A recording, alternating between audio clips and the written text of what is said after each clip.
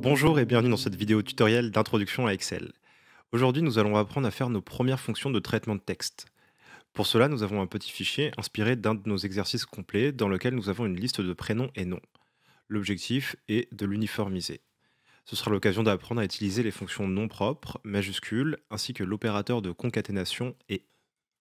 Nous allons donc commencer par prendre connaissance de la consigne qui se trouve dans la cellule F12, là où prénom souligné est écrit, et on nous dit qu'il faut utiliser la fonction non propre pour que tous les prénoms qui se trouvent dans la colonne D soient uniformisés avec une majuscule à la première lettre et le reste du prénom en minuscule. Alors, pour cela, je vais cliquer sur la cellule F13 et je vais écrire égal, nom propre, ouvrir la parenthèse et venir sélectionner le premier prénom sur lequel je souhaite appliquer une majuscule à la première lettre. Je ferme ma parenthèse, je fais entrer. Comme vous pouvez le constater, Alexandre a désormais une majuscule à la première lettre et tout le reste est bien resté en minuscule. Je vais ensuite venir étirer cette formule. Pour cela, je vais me positionner sur la cellule dans laquelle j'ai écrit ma première fonction. Je vais me placer dans le coin inférieur droit de la cellule jusqu'à ce que le curseur de la souris devienne une petite croix noire. Je vais ensuite cliquer. Tout en maintenant le clic, je vais glisser jusqu'à la dernière ligne et relâcher.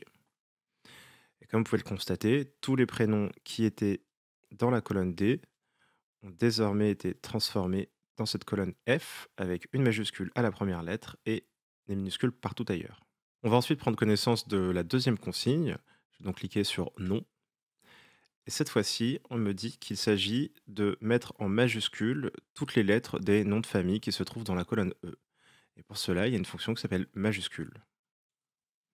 Je vais donc là encore cliquer en face d'Alexandre et je vais faire égal majuscule, ouvrir la parenthèse et venir sélectionner la cellule qui contient le nom de famille de la personne. Je ferme ensuite la parenthèse, je fais entrer. Là encore, comme vous pouvez le voir, Duronthèse, qui était entièrement minuscule, est désormais entièrement majuscule. Là encore, même manipulation, je vais venir étirer cette formule. Je vais commencer par étirer sur Sabri. Comme vous pouvez le constater, Sabri, qui était déjà entièrement majuscule, n'a pas été transformé. Je vais donc étirer ma formule jusqu'en bas, jusqu'à la dernière ligne, et on voit bien que tous les noms de famille sont passés en majuscule. Alors, pour la dernière colonne maintenant, on me dit qu'il faut utiliser la fonction concaténée où le symbole est. Alors, le but est d'obtenir une civilité complète. Madame Alexandre Duronthèse, par exemple, pour la première personne. Alors, je vais vous montrer comment faire avec les deux outils qui sont proposés, donc la fonction concaténée ou l'opérateur et. Je vais commencer par la fonction concaténée.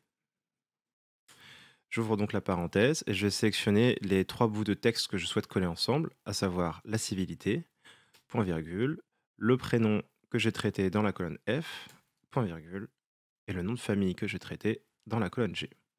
Je ferme ma parenthèse et je fais entrer. Et comme vous pouvez le constater, effectivement, les trois chaînes de texte, Madame, Alexandre et Duronthèse, ont bien été collées, mais euh, il n'y a pas d'espace entre chacun de ces éléments. Il faut donc que j'indique à la fonction concaténée de rajouter des espaces supplémentaires. Je vais donc mettre à jour ma fonction.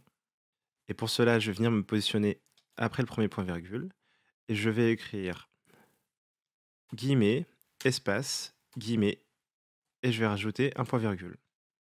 Autrement dit, cela va indiquer à la fonction concaténée de coller ce qui se trouve dans la cellule C13, c'est-à-dire madame, puis d'ajouter un espace, puis d'ajouter le prénom qui se trouve en F13. Et là encore, je souhaite un nouvel espace. Donc, je vais me positionner après le point virgule qui est entre F13 et G13. Et je vais ajouter la même chose, à savoir guillemets, espace, guillemets, et j'ajoute un point virgule. Je fais rentrer. Cette fois-ci, on voit bien qu'on a la chaîne de texte attendue, à savoir Madame Alexandre Duronthèse, avec des espaces entre Madame et Alexandre et entre Alexandre et Duronthèse. Donc ça, c'était le premier moyen c'est la première possibilité avec la fonction concaténée. L'autre possibilité, c'était d'utiliser l'esperluette, qu'on appelle également le et commercial. Et pour cela, pas besoin de faire appel à une fonction. Je vais commencer par sélectionner les bouts de texte que je souhaite coller entre eux. Donc là, en l'occurrence, monsieur et Anouar et Sabri. Comme vous pouvez le voir, ça me donne le premier résultat que j'avais eu avec la fonction concaténée avant de rajouter les espaces. Donc ça va être le même principe, il va falloir que j'indique où ajouter des espaces dans cette chaîne de texte.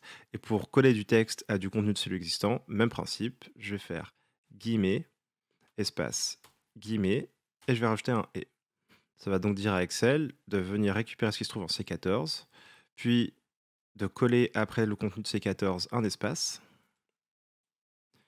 puis de coller après cet espace ce qui se trouve dans la cellule F14. Et là encore, même principe, entre la cellule F14 qui contient le prénom et la cellule G14 qui contient le nom de famille, je souhaite un espace supplémentaire. Je vais donc rajouter guillemets, espace, guillemets, ajouter un et et faire entrer. Comme vous pouvez le constater, j'ai bien la chaîne de texte attendue, à savoir monsieur, espace, Anouar, espace, Sabri. Je vais maintenant venir étirer cette formule jusqu'à la dernière ligne et on voit que tout est validé. Vous savez désormais utiliser quelques outils de base pour traiter des chaînes de caractères. Je vous souhaite bon courage pour la suite et je vous dis à très bientôt sur notre plateforme ou dans nos vidéos tutoriels.